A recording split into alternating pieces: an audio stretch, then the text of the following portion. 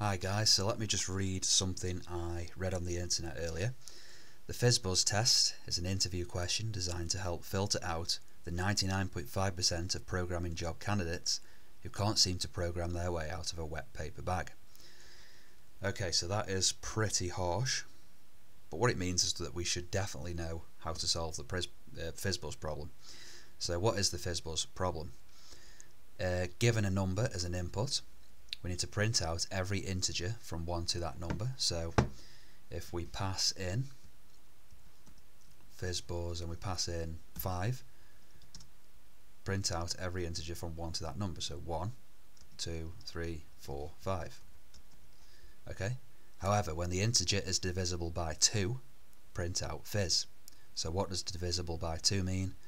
Well, 1 divided by 2 is equal to 0.5 with a remainder of 0.5.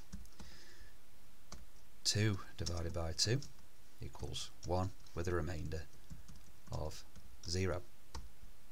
Okay, and 3 divided by 2 is equal to 1.5 with a remainder of 1.5. Okay, so when it's divisible by 2 it has a remainder of 0. This 1 is not divisible by 2, neither is 3 because they don't have remainders of 0.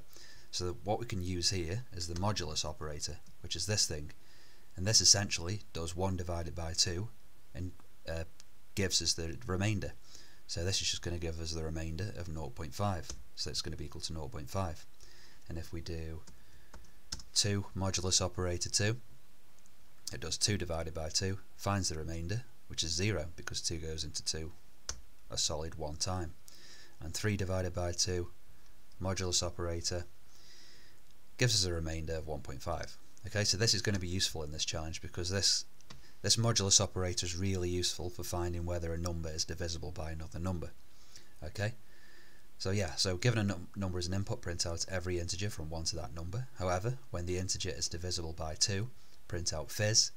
When it's divisible by 3, print out buzz and when it's divisible by both 2 and 3 we print out fizz buzz. Okay, so let's write a function called fizz buzz. It's going to take a number and first of all we're going to write a for loop. So we need to loop from 1 up until up until the input number. So we're going to say for let i equals 1 so we're starting at 1 and for i is uh, less than or equal to the number. And we're going to plus 1 each time. Okay. So now the first run through i is going to be equal to 0 uh, i is going to be equal to 1 sorry. So we need to do a check now. And first of all we're going to check if it's divisible by both 2 and 3 okay? Because if we checked if it was divisible by 2 first it would print out fizz when real and but we need to check if it's divisible by 2 and 3 just in case we need to print out fizz buzz. So we need to do this one first. So we can check if i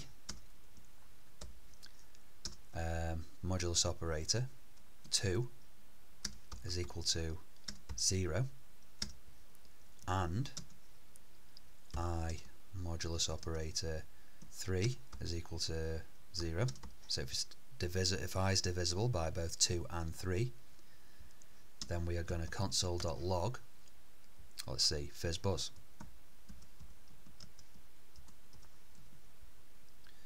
then we need an else if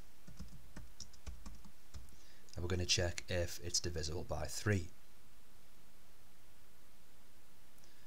So we're going to say if i is divisible by 3, we're going to console.log buzz. Okay. And then again, another else if, and we're going to check if it's divisible by 2 this time.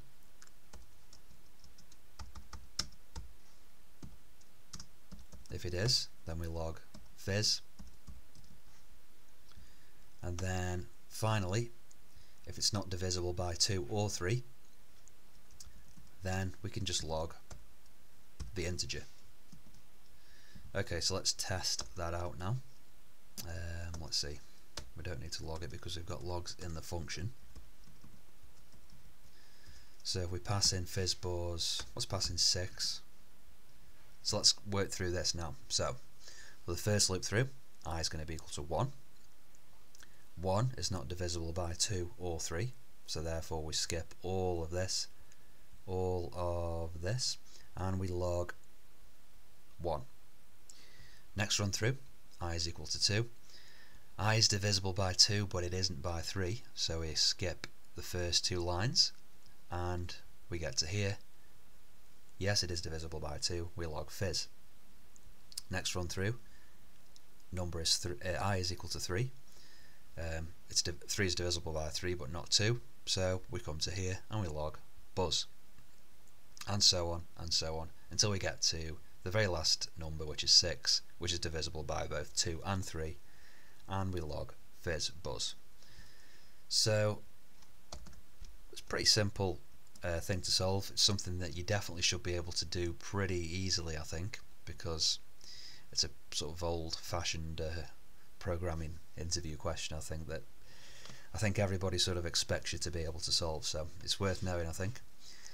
So thanks for watching, and I'll see you in the next video.